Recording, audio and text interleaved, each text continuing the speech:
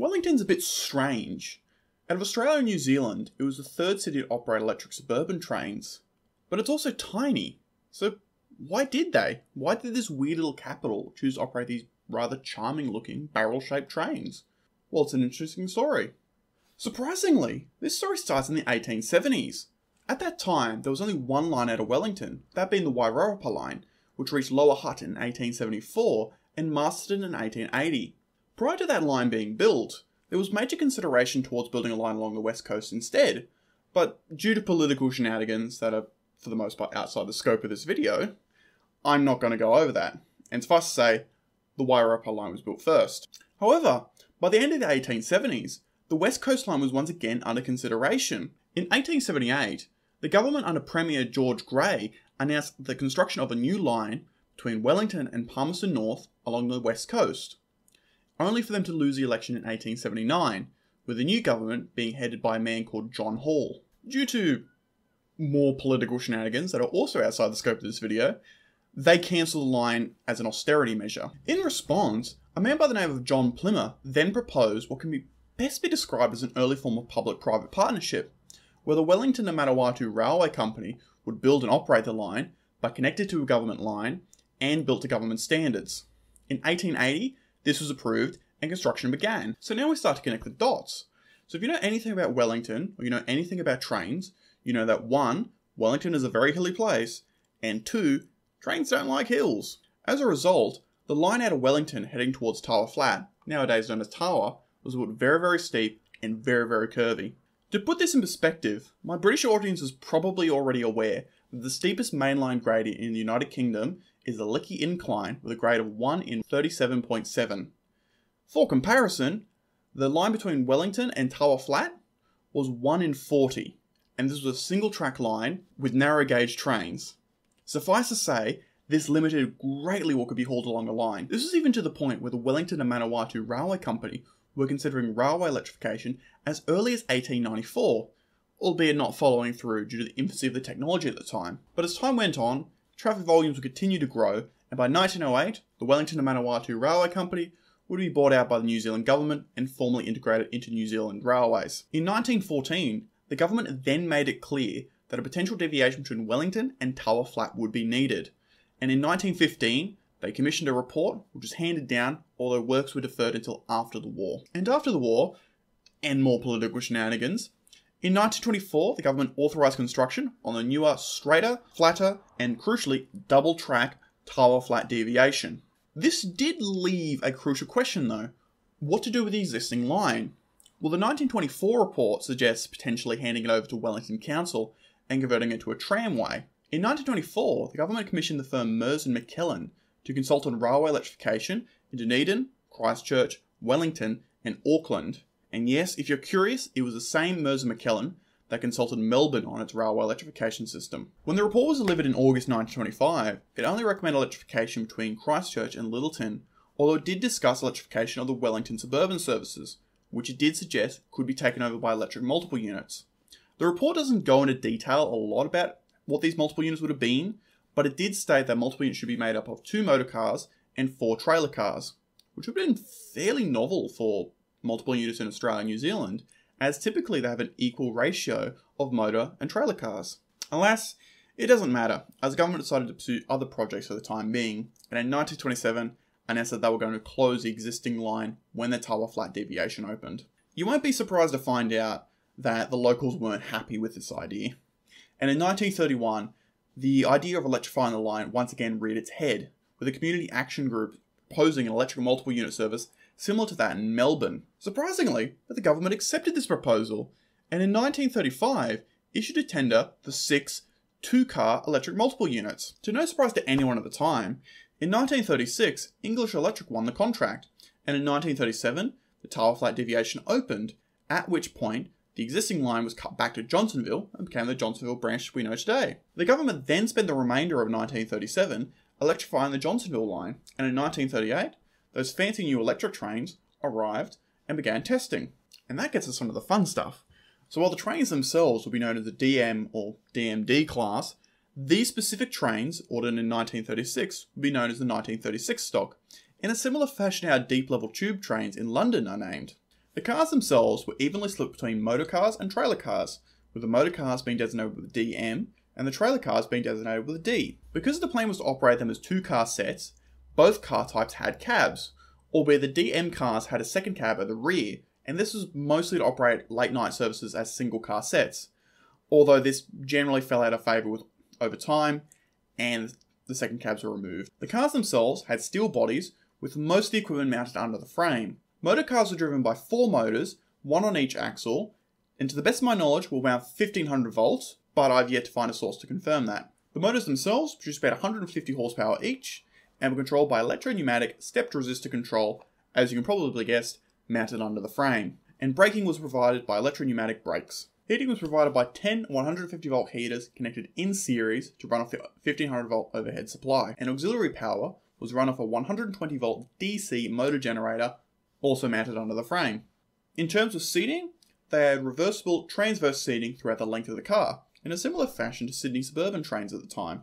One thing that trains in Sydney and Melbourne didn't have, that these trains in Wellington did have, was power operated doors, which wouldn't become standard on trains in Sydney and Melbourne until the late 1950s with the Sputnik and Harris cars. Quick editor's note while it was the Sputniks in Sydney, turns out it wasn't the Harrises in Melbourne, it was the Hitachis in 1972, which I guess proves my point even more. and traction interlocking, which I don't know when that became standard on new trains in Melbourne, but I know for Sydney, that was the Millenniums in 2002.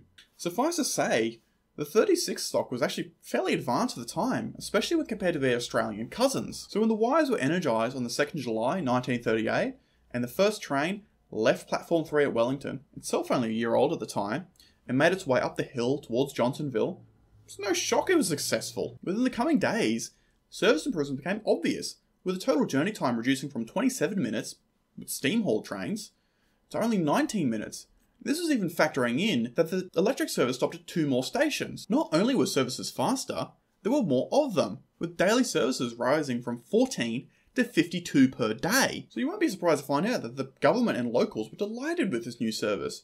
Not only did it bring better transport to the area, but every suburb that was served by the line, it brought great economic opportunities. So of course in 1939, the government then announced that as soon as equipment was available, suburban service would extend all the way to Paekakariki. But if you know your history, you know that 1939 was the year that World War II started in Europe, and unfortunately, fighting the Nazis takes priority to the new train. Regardless, in 1940, electrification reached Paekakariki through the Tawa Flat deviation, and for the time being, suburban services to Paekakariki would be hauled by ED class electric locomotives. Unfortunately, the war situation would escalate, and in late 1941, New Zealand would find itself at war with Japan as well. For whatever reason, the government then in 1942 ordered three two car sets for additional service on the Johnsonville line and extended service on the Paekakariki line. These trains are known as the 42 stock, and they arrived after the war ended in 1946. For the most part, the wartime ordering of these trains is the most notable aspect of them, as they were identical to the earlier 36 stock. As soon as they arrived, they were put into service and began working their way up to Johnsonville and out to Paekakariki alongside the 36 stock. Although these trains arriving in 1946 wasn't the most interesting thing to happen in that year. Like many countries in the wake of the Second World War, New Zealand was experiencing a massive population boom, and as a result, they were investing massively in housing. While today the Hutt Valley is a core part of metropolitan Wellington, at the end of the war, it was just a plain of rolling fields. There really wasn't much there. In 1946, to support the development in the Hutt Valley, the government announced a fairly ambitious upgrade project for the lines in the Hutt Valley. The main upgrade that's notable for us is the extension of the Hutt Valley branch line from Waterloo to Manor Park via Naenae and Taita. Once built, this will become the new route for the Wairarapa line, with the existing line then terminating at Melling and becoming a branch. As part of this, the government also announced that electrification will span as far as Upper Hutt, and as you can probably guess, that means more trains. So these new trains are known as the 46 stock, and they ordered quite a few, for comparison, the 36 and 42 stock altogether consisted of 9 motor cars and 9 trailer cars, while the new 46 stock they ordered 40 motor cars and 71 trailer cars. One thing you may have just noticed is that the previous orders were for an equal amount of motor and trailer cars, while for this order, they were unequal. Well, why is that? Well, some would operate as two car sets, but the plan was to operate them mostly as three car sets, being built up to six cars during peak hours. And unlike the earlier stock, the 46 stock would actually differ, with the main alterations being the 46 stock was equipped with a larger motor generator for supplying two trailer cars instead of one, and the bogie wheelbase was increased from 2.29 metres to 2.99 metres. Additionally, the braking systems were upgraded. From what I've read, the doors also differed, but I'm not entirely sure that's the case. There's more information in the description below if you're curious. In 1949, the first of these units arrived in New Zealand and began working on the Paekakariki line while the Hutt Valley works were taking place. In 1953, the first section of electrification in the Hutt Valley opened between Kaiwhara and Taita.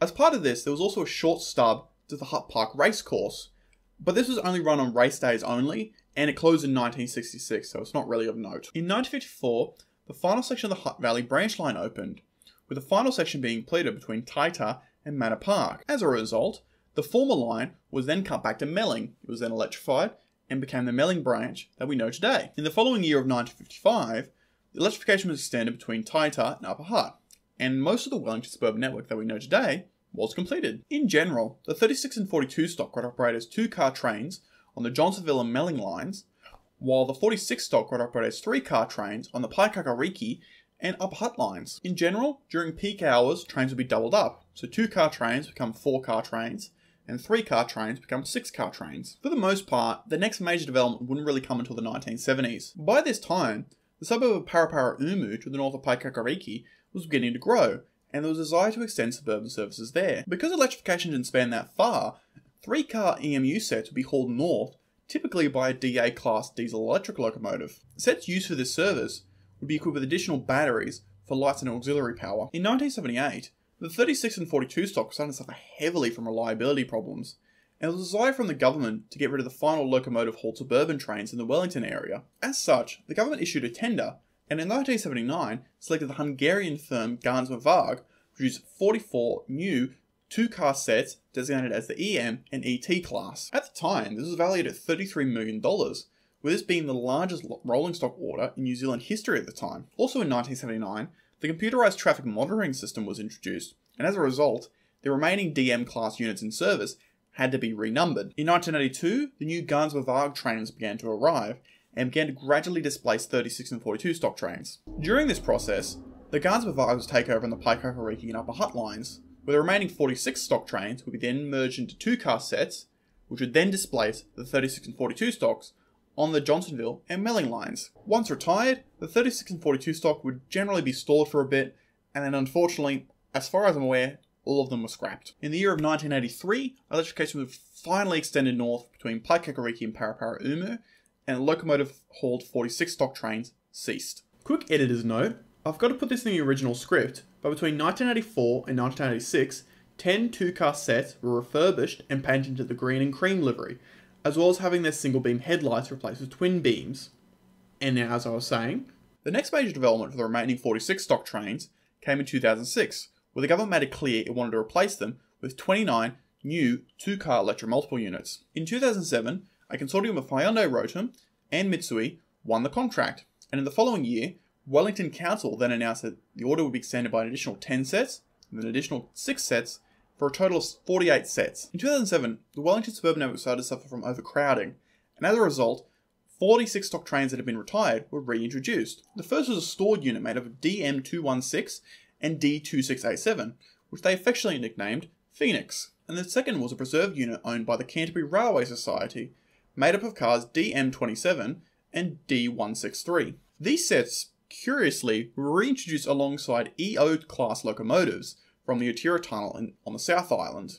These worked in a push-pull configuration, sandwiched between British Rail Mark II carriages. The reintroduced 46 stock and the EO class locomotives would work until late 2011 and early 2012 before being re-retired. In 2010, the first of the new Matangi trains arrived and began testing on the Upper Hutt and Melling line, with full service on the Upper Hutt and Melling line expected to begin in January 2011, the Johnsonville line in May, and the new Kapiti line in July, the latter line being renamed after electrification was extended north from Paraparaumu to Waikanae in January 2011. Due to a variety of factors, the introduction of the new Matangi units was less than smooth to say the least. By March they began service on the Upper Hutt and Melling line, and on the Kapiti line in June. Service on the Johnsonville line was delayed until March 2012, and in that same month, the final 46 stock service on the Johnsonville line took place, and the final service altogether took place on the Melling line on the 25th of June 2012, ending the 74 year history of the DM class in Wellington. Afterwards, the 46 stock faced a scrapper's torch, like its earlier 36 and 42 stock siblings, although a few sets were set aside for preservation. In one humorous case, Metlink placed an ad for a two car set on the website TradeMe for $29,990, listed as buyer to pick up, and with a bargain of 4.5 million kilometers on the odometer. Seeing how much of a bargain this was, an overenthusiastic four year old attempted to buy the train while playing on their mum's computer. Unfortunately, their mum asked Metlink to cancel the bid. I'm assuming to that kid's great disappointment. The train was later sold to a man in Nelson in July 2011. Quite a few cars actually made it into preservation, with the previously mentioned Canterbury Railway Society having an operational set made of 46 stock cars, DM27 and D163, which you can see at their site in Ferrymead, just outside of Christchurch. The National Railway Museum of New Zealand also has 46 stock cars, those being DM216 and D26A7, which they have affectionately nicknamed Phoenix, and as you probably remember, were one of the two sets reintroduced in Wellington. The only three car set that was preserved consists of D2411, DM556, and D2130, and it was affectionately nicknamed Cyclops. This was due to it still having its single beam headlights, as most stock was retrofitted with twin beam headlights. This unit I'm not entirely sure its state, as it appears to be owned by the Wellington Heritage Multiple Unit Trust, but they don't appear to have been active since 2020. So as far as I can tell, the unit is currently stored at the Rimutaka Incline Heritage Railway in Maymorn. I wasn't able to find anything to confirm this, or verify its location, so that's all I can say unfortunately. Well, on that sour note, it's time to conclude this video. If I were to use one phrase to describe these trains, it would be surprisingly impressive. While they were in service for far, far too long, they were surprisingly impressive for the time they were introduced, and had features that let them punch way above their weight when compared to their Australian counterparts. These were the final throes of an era where New Zealand railways would go above and beyond when it came to providing good service. It's sad that in the post war years, New Zealand mostly followed the trend of car dependent suburbia, and as a result, there were basically no developments in the post war period. It was even to the point where cities like Dunedin and Christchurch, where they once considered railway electrification, ended up closing their suburban networks, and Auckland didn't even electrify until 2014. But I suppose that's just how things are, unfortunately. Either way, the DM class were impressive for the time, and I'm quite glad that quite a few made it into preservation. And now I just need to find a way to get to Christchurch so I can go ride one.